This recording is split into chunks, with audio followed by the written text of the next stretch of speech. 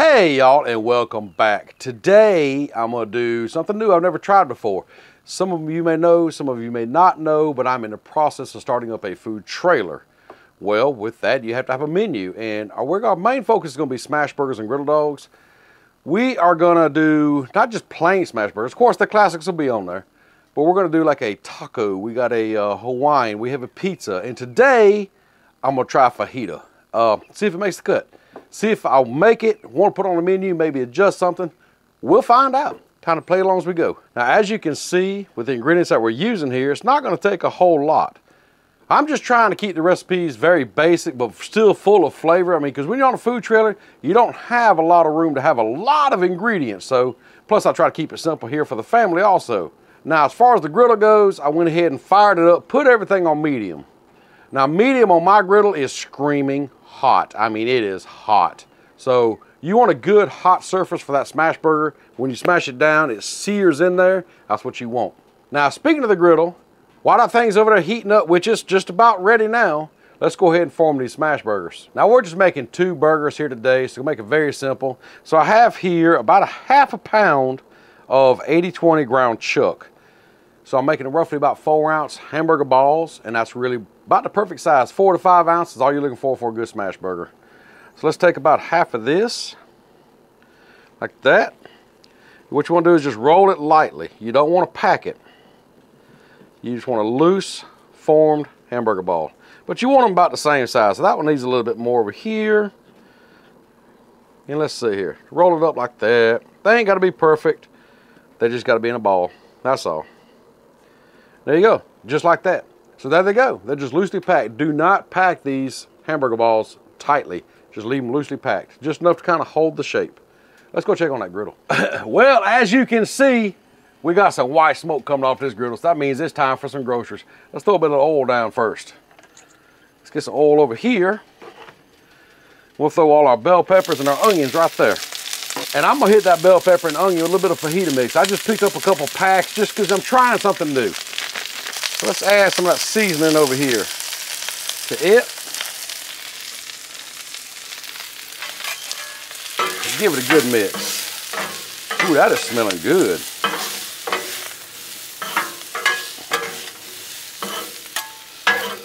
Now I went ahead and started these bell peppers and these onions, but first, kind of give them a head start because this smash burgers won't take long at all. But all I want to do with these is just kind of soften them up. Let's give them another quick stir. Man, them are looking so good already. Man, these right here got a good char on them already. And they are smelling so good. So now, them peppers and onions are really going. I mean, they're going quick. Let's go ahead and get our smash burgers going. So you there, put you there. Now I happen to have a Blackstone smasher, but a good flat spatula, anything sturdy will do. Grab some parchment paper, lay it on one of them burgers, and just press it down. Hold for roughly 10 seconds. It ain't gotta be exact. Just looking for good contact sear with that surface. Just like that right there. do the same with the other one.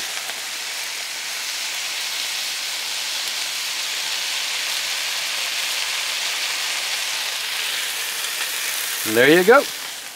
Let's season them burgers too.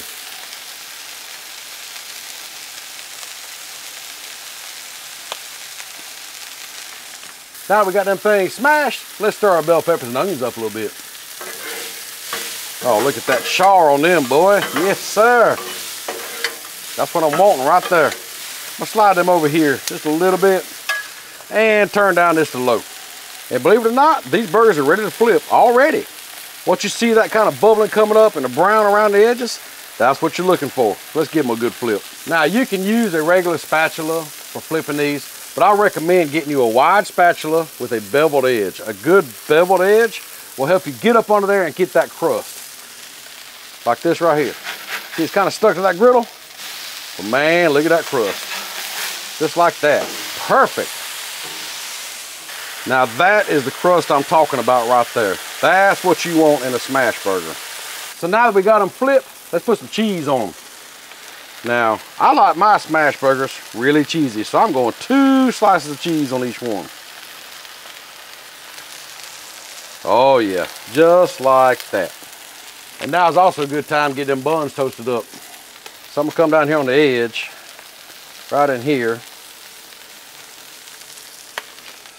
Put some butter down. Throw my bread on. There we go. We fit eat us some good fajita burgers here in a minute, I think, y'all. One more thing I forgot. This lime right here. I wanted to add a little bit of lime into them peppers and onions. Now, I don't want to move the cameras around because it's I'm, I'm cooking, but the best way to do that is just roll it out, kind of soften that lime up just a little bit. Take it, just cut it in half, bring it over here to the peppers and onions, and just squeeze some into it. Yeah, buddy, there you go. Add that flavor.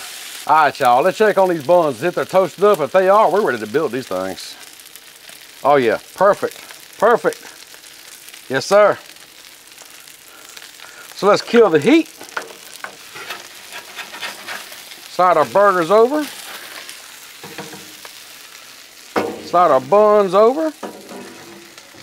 Grab us a cutting board. And let's build these things.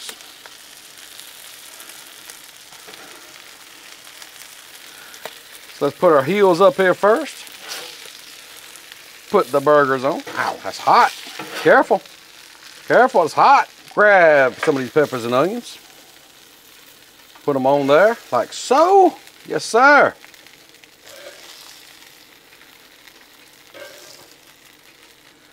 And top them off. Wait a minute, let's get this back a little prettier here. There we go, top them off. There we have it. Some fajita smash burgers. Let's take a close look at these things. Man, these are looking really, really good. Got a little bit of char with that seasoning on them peppers and onions. Them good old smash burgers, all that cheese down in there. I mean, look at that. Good char on them burgers. Yeah, buddy, we gotta try these out. Well, y'all, they smell delicious. As far as the char on the peppers and onions go, that season did char a little more than I expected. So I'm gonna work with that a little bit. This may be okay, I don't know. But I say we try it out. I think I'm gonna grab this one right here.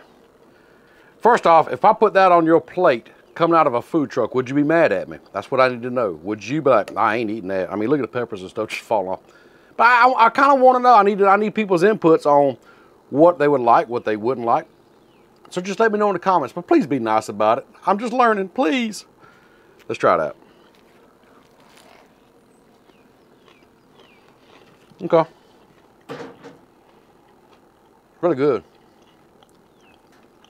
It's got that classic smash burger taste.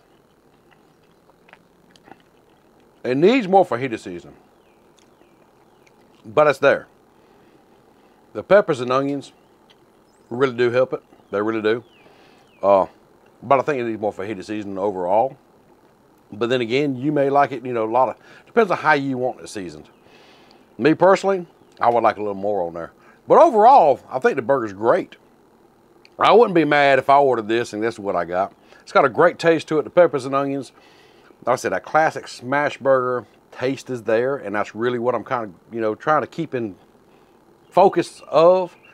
So anyhow, thanks for joining me. Let me know down below what you think, what you do different, maybe some tips and suggestions. Uh, what you like, maybe some jalapenos, kind of spice it up a little bit. I don't know. If You know, there's so many ways you can do things, and like I say in other videos, cooking's guidelines. There's no one set rule. There's a million ways to do the same thing. So hope you enjoyed it. I'm gonna work a little bit more with this. We'll see you next time.